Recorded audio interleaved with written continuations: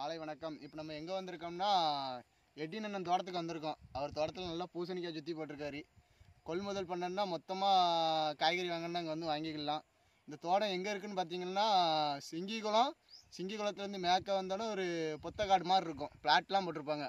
அங்கே வந்தால் நீங்கள் சப்போட்டா வாங்கிக்கலாம் பூசணிக்காய் வாங்கிக்கலாம். எல்லா காய்கறியும் இருக்குது கொள்முதல் பண்ணிக்கு நீங்கள் வாங்கிக்கலாம். இப்போ அவங்க எப்படி கொள்முதல் பண்ணுறாங்கன்னு டேரெக்டாக நம்ம அவங்ககிட்டே கேட்கலாம். சார் பூசணிக்காய் ஒரு பத்து ஏக்கர் போட்டிருக்கோம் சார்? சார் பூசணிக்காய் போட்டிருக்கோம் ஒரு பத்து ஏக்கர் போட்டிருக்கோம் சார். கிட்டத்தட்ட பூசணிக்காய் எப்படி போட்டிருக்கோம் நீங்களே பாருங்கள் ஆ சார் கிட்டத்தட்ட ஒரு கிலோ பத்து ரூபாய்க்கு போகுது சார். அந்த பூசணிக்காய் எப்படி காய்ச்சிருக்கு நீங்கள் காட்டலாமா? ஆ காட்டலாம் சார். பூசணிக்காய் இல்லைன்னா நல்ல காய்ப்பு. ஆ காட்டுங்க பூசணிக்காய் எப்படி இருக்குன்ட்டு. பூசணிக்காய் காய்ப்பு காயெல்லாம் காமிக்கேன் சார்.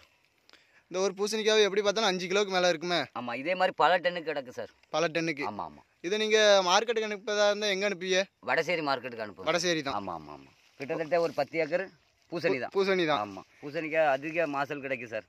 மாசத்துக்கு கிடைக்கும். ஆமாம் ஏன்னா செலவு கம்மி சார். செலவு கம்மி. இது நீங்கள் எவ்வளோ முதலீடு பண்ணியிருப்பீங்க கிட்டத்தட்ட ஒரு அஞ்சு ஏக்கருக்கு ஒரு பத்து ரூபா கூட செலவாயிருக்கும் சார். ரொம்ப ஆயிருக்கும் சார். பத்து ரூபா தான் செலவு. வருமானம் எடுக்கலாம் சார். வருமானம் எடுக்கலாம். உங்களுக்கு பூசணிக்காய் ஒரு கிலோ பத்து ரூபாய்க்கு போச்சுன்னா உங்களுக்கு நல்லா ஆதாயமா இல்லை எப்படி? அதே தான் சார். சராசரி உங்களுக்கு எத்தனை கிலோவுக்கு போகலாம்? ஒரு காயை பொறுத்தளவில் பத்து கிலோ வரை அடிக்கும் சார். பத்து கிலோ வரை அடிக்கும். கிலோ பத்து ரூபானா நம்மளுக்கு லாபம் தானே சார்? ஆமாம் பத்து கிலோன்னா நூறுரூவாயாச்சுல ஆமாம் ஆமாம் கிலோ அதிக மாதத்தில் எடுக்கணும்னா நம்ம இந்த இந்த கிலோ பூரணியை பொறுத்தளவில் நம்ம சிங்கோளத்துக்கு அடுத்த மேல் பக்கம் இருக்கிறோம். ஆமாம் உங்கள் தோட்டம் பேர் அஹ் தோ- தோட்டம் கிலோ பூரணி பஸ் ஸ்டாண்டுக்கு நம்ம செவுல்ல இருந்து பார்த்தவா உள்ளே வந்துடலாம் சார் நம்ம தோட்டத்துக்கு அப்படியா? செவுல்ல இருந்து பக்கம் சார் நம்ம தோட்டம். தோட்டத்தை தொடர்பு கொள்ளணும்னா எட்வின்ட்ட தான் கேட்கணும் சார். யார் வந்தாலும் இங்கே நம்மகிட்ட என்ட்ரி பண்ணி தான் உள்ளே இறங்கணும் சார். எட்வின் ஆமாம் கிட்டத்தட்ட நான் அஞ்சு ஏக்கர் தாண்டி தான் பூசணிக்காய் போட்டிருக்கோம். கணக்காடு போட்டிருக்கேன். அதை வேணால் கவர் பண்ணிக்காங்க. எப்படி கவர் பண்ணி எடுத்துக்கலாமா? ஆ எடுத்துக்கலாம் சார். காயை பொறுத்தளவில் வடசேரி மார்க்கெட்லேயே நம்ம காய் தான் சார் கொள்முதல். கொள்முதல். ஆமாம் பூசணிக்காய் கிட்டத்தட்ட சுரைக்காவும் போட்டிருக்கோம். பூசணிக்காய் பாருங்கள் அதுக்கப்புறம் சுரைக்காய் நான் காமிக்கிறேன். இப்போ நீங்கள் உங்களுக்கு மார்க்கெட் எது பக்கம்? திருநெல்வேலி பக்கம் தான் சார். திருநெல்வேலி போக முடியாது சார். யா? ஏன்னா டிராஃபிக் அதிகமாக இருக்கும். அதான் அந்த இடத்துக்கு போக முடியாது. நம்ம அதனால் வடசேரி விடுவோம் சார். வடசேரி. உங்களுக்கு அதிக லாபம் கிடைக்கிறது திருநெல்வேலி மார்க்கெட்டா இல்லை வடசேரி தான் சார். வடசேரி வடசேரி மார்க்கெட்டுக்கு நீங்கள் போய் இல்லை இல்லை வண்டிக்காரன்ட்டே இல்லை கொடுத்துருக்கீங்க நான் போவேன் சார். ஆமாம் ஆமாம் போவேன். பூசணிக்காய் வேணால் சாம்பல் காமிக்க சார். ஆ காமிங்க. ம். கிட்டத்தட்ட அதிக மாசல் எடுக்கணும்னா பூசணிக்காய் தான் சார். இந்த வேற காய் பூசணிக்காய் பார்க்கலாமா? ஆ பார்க்கலாம் சார். இந்த காயை பொறுத்தளவு இப்போவுமே பத்து கிலோ இருக்கும் சார். பத்து கிலோ இருக்கும். ஆமாம் சுயராக பத்து கிலோ இருக்கும். அதிக மாசல் எடுக்கணும்னா பூசணிக்காய் தான் சார். பூசணிக்காய் தான். ஆமாம் கிட்டத்தட்ட நம்ம இப்போ வீடியோ பாருங்கள் நீங்களே ரெண்டாவது அந்த பூசணி போடணும்னு சொல்லுவீங்க. அதிக மாசல் எடுக்குது. வருமானம் சொல்லணும்னா ம். அதிக மாசல் எடுக்கும் சார். வருமானம் அதான். வருமானம் தான் ஆமாம் பூசணிக்காய் பொறுத்தளவில் கிலோ பூரணியை பொறுத்தளவில் யாருமே இந்த மாதிரி விவசாயம் பண்ண மாட்டாங்க சார். நீங்கள் தான் பண்ணுறீங்க ஆமாம் நம்ம தான் அறிமுகம். நம்ம தான் விவசாயத்தை யாருக்கு எல்லாத்துக்கும் படித்து கொடுப்போம் சார். படிச்சு கொடுப்பீங்க. ஆமாம் தெரியாதவனுக்கு மம்டி தூக்கி வேலை சொல்லி கொடுப்போம் சார். வேற நீங்கள் என்ன வேலைக்கு போகல? உங்கள் சொந்த வேலை மட்டும் சொந்த யூஸ் தான் சார். என்ன தொழில்னாலும் பண்ணலாம். ஒன்றும் பிரச்சனை இல்லை. ம். ஆமாம் வேலை தெரியாதவனுக்கும் வேலை சொல்லி கொடுப்பேன் சார். வேலை சொல்லி கொடுப்பீங்க. ஆமாம் விவசாயத்தை பற்றி இப்படி சொல்லி கொடுப்பேன். விவசாயம் இப்படி நடத்தணும். இப்படி கொள்முதல் பண்ணணும். நிலவரத்தை சொல்லி கொடுப்பேன். விவசாயம் இப்படி பண்ணுனா இப்படி வரும். அதே மாதிரி நல்லா தண்ணி பாய்க்கணும். தண்ணி பாய்க்காமல் இருந்தால் பட்டு போவோம் பூசணிக்காய் வாரத்துக்கு எத்தனை தண்ணி விடுவீங்க? வாரத்துக்கு ரெண்டு தண்ணி சார். மூணு நாளைக்கு ஒருக்க. மூணு நாளைக்கு எத்தனை உரம் வைப்பீங்க?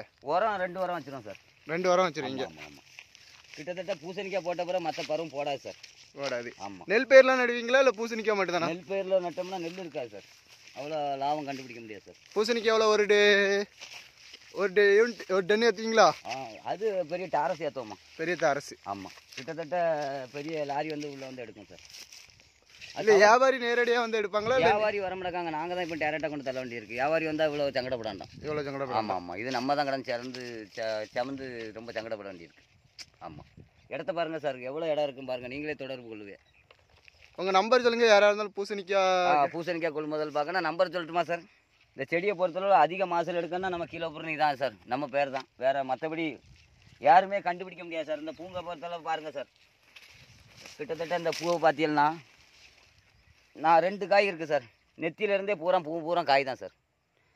பூசணிக்காய் பொறுத்தளவில் அதிக மாசல் எடுக்கணும்னா கிலோ பூரணி எட்டினை தவிர யாரும் எடுக்க முடியாது சார்.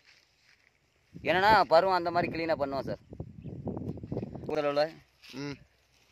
பூ இலைக்கு தகுந்தபடி காயாக தான் இருக்கும் சார். காய்னா கிட்டத்தட்ட காய்ச்சிக்கிட்டே இருக்கும் சார். நம்ம அழிக்க முடியாது அந்த மாதிரி காய்.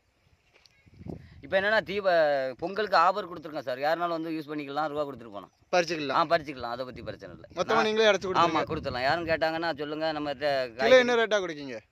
கிலோ அவங்க பத்து ரூபான்னா நம்மளுக்கு ஒரு ஒரு ரூபா குறைச்சிட்டு ஒம்பது ரூபா தான் கொடுத்துடலாம் சார். ஓகே. ஆமாம் ஆமாம் ஒரு ரூபா கம்மி பண்ணி தான் கொடுத்துரும் பூசணிக்கானாலே கிலோ பொருள் நம்ம தான். ஆமாம் வீடியோவில் சந்திக்க சார்?